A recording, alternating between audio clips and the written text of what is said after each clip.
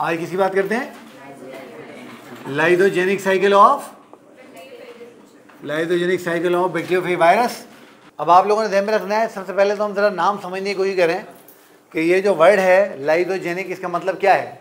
देखें, ये जो वर्ड है लाइदो ये आपने लाइदो दो में ही पढ़ा था, याद है ना आप लोगों? को ये जो वर्ड है ना लाइसो इसका मतलब होता है लाइसिस यानी टू स्प्लिट और ये जो वर्ड है ना जेनिक ये जिनेसिस से बना हुआ है और इसका मतलब क्या होता है? प्रोडक्शन अब सवाल ये पैदा होता है कि लाइदोजेनिक का मतलब क्या हुआ? लाइदोजेनिक का मतलब हुआ एक ऐसी लाइफ साइकिल बैक्टीरियोफेज वायरस की जो कि लाइटिक साइकिल में कन्वर्ट हो सकती हो। यानी जो कि लाइसिस की प्रोडक्शन कर सकती हो, जो लाइसिस को तोड़ फोड़ को शुरू कर सकती हो, उसको हम क्या नाम दे देते हैं बेटा? लाइदोजेनिक साइकिल का। जैसे लाइटिक साइकिल में आपने देखा था कि लाइटिक साइकिल के आखिर में क्या हो रहा था? जो होस्ट सेल था, लाइटिक साइकिल के आखिर में होस्ट सेल डिस्ट्रॉय हो गया था। ऐसे ही था ना? लाइटिक साइकिल के आखिर में होस्ट सेल डिस्ट्रॉय हो गया ऐसे ही हुआ था? इसके अलावा तो कुछ नहीं हुआ था ना? आप देखेंगे कि लाइदोजेनिक साइकिल भी एक ऐसी साइकिल को बोलते हैं जो कभी भी किसी भी वक्त लाइटिक साइकिल में कन्वर्ट हो सकती है। तो जब वो लाइटिक साइकिल में कन्वर्ट होगी तो क्या करेगी? वो होस्ट सेल को तोड़ देगी होस्ट सेल को डिस्ट्रॉय कर देगी, यानी लाइसिस करवाएगी। इसीलिए इसका नाम क्या पड़ गया? लाइदोजेनिक साइकिल अब देखो लाइदोजेनिक साइकिल को जब मैं देखता हूँ तो लाइदोजेनिक साइकिल के कुछ स्टेप्स बिल्कुल एक जैसे होते हैं लाइटिक साइकिल से। लाइदोजेनिक साइकिल के कुछ स्टेप बिल्कुल एक जैसे होते हैं लाइटिक साइकिल से। तो ये आपका होस्ट बैक्टीरियल सेल आ गया, और ये आपके होस्ट बैक्टीरियल सेल का ये आपका डीएनए आ गया। कौन आ गया आपका? डीएनए अब आपको याद है कि जो होस्ट बैक्टीरियल सेल था, हमने बात की थी कि यार इसके ऊपर क्या होते हैं? इसके ऊपर स्पेशल रिसेप्टर होते हैं और हमने बात की थी कि जो वायरसेस होते हैं they are host specific viruses क्या होते हैं? होस्ट स्पेसिफिक तो ये इसका रिसेप्टर है और इस रिसेप्टर के ऊपर ये आपका बैक्टीरियोफेज वायरस आके बैठ गया अटैच हो गया, ये यहाँ से आके अटैच हो गया, ठीक है? फिर हमने बात की थी कि बैक्टीरियोफेज वायरस का जो टेल था, उसके आपको याद हमने बात की थी उसके दो पार्ट थे एक उसका बाहर वाला पार्ट था विच कैन कॉन्ट्रैक्ट जो सुकड़ सकता था पेनिट्रेट कर सकता था किसी चीज़ को।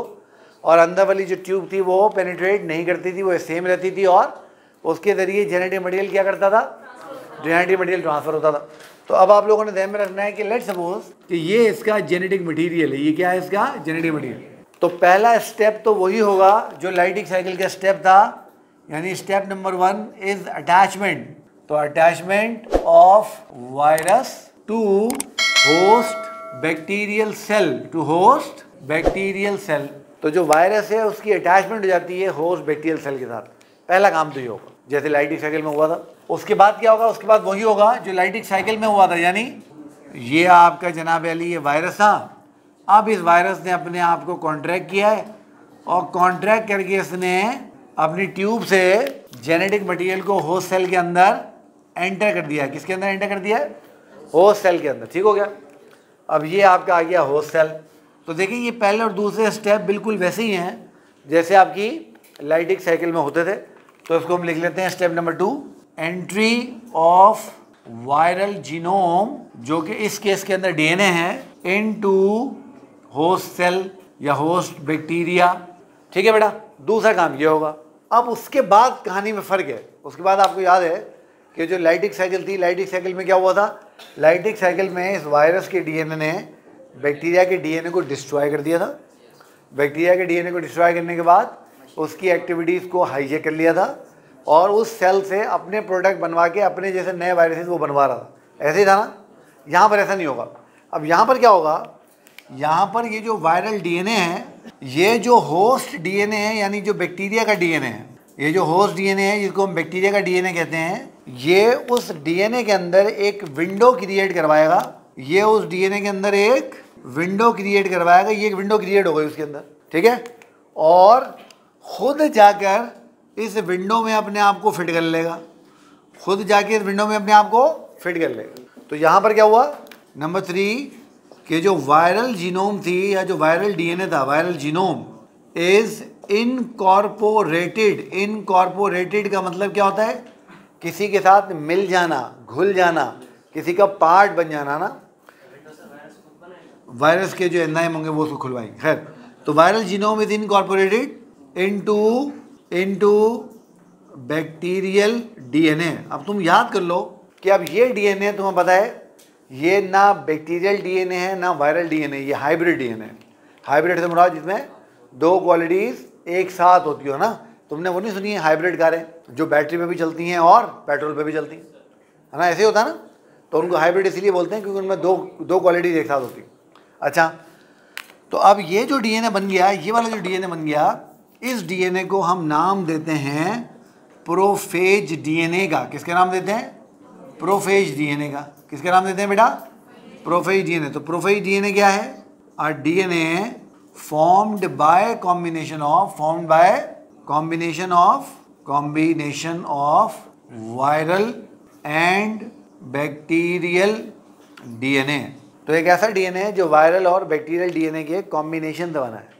ठीक है? अच्छा। अब ये वायरस बिल्कुल अमन से, सुकून से, आराम से इस बैक्टीरियल सेल के डीएनए के साथ मिलके रहता रहेगा। इसको कोई प्रॉब्लम नहीं होगी।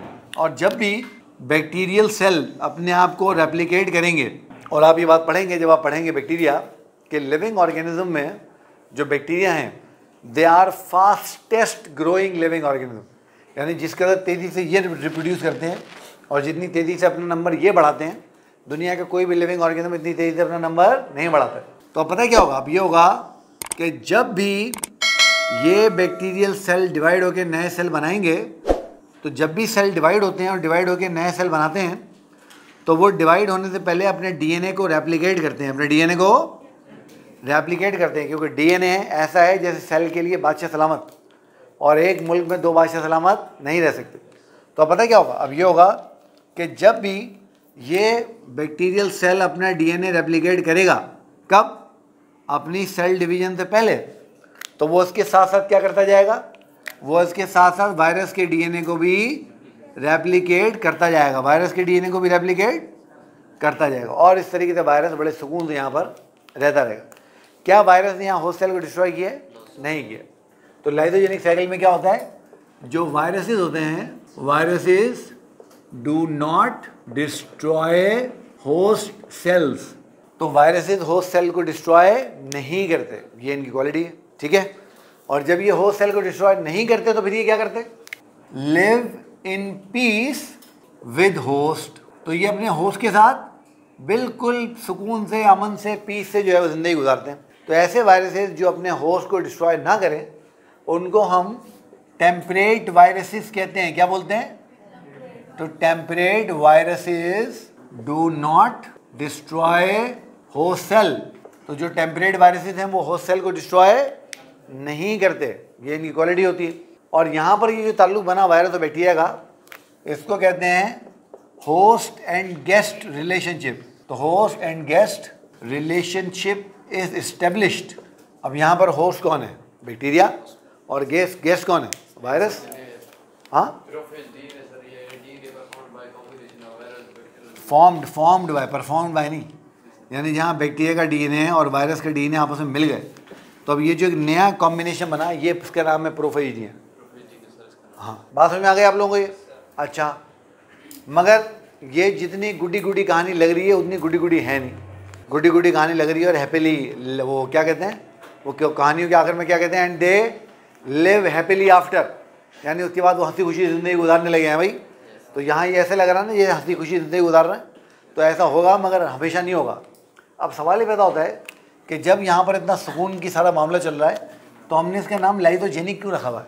हमने इसका नाम लाइथोजेनिक क्यों रखा हुआ है? अब पता है, होगा क्या? होगा ये कि अगर कभी इन सेल्स को लेट सपोज़ इनके ऊपर रेडिएशन आ गई, अगर इन सेल्स के ऊपर कभी रेडिएशन आ गई एक्स रेज आ गई या इस तरह की कोई और रेज आ गई तो जैसे ही इन सेल्स के ऊपर कोई रेडिएशन कोई केमिकल कोई इन्वायरमेंटल फैक्टर बहुत सारे फैक्टर होते हैं जो को ट्रिगर कर सकते हैं।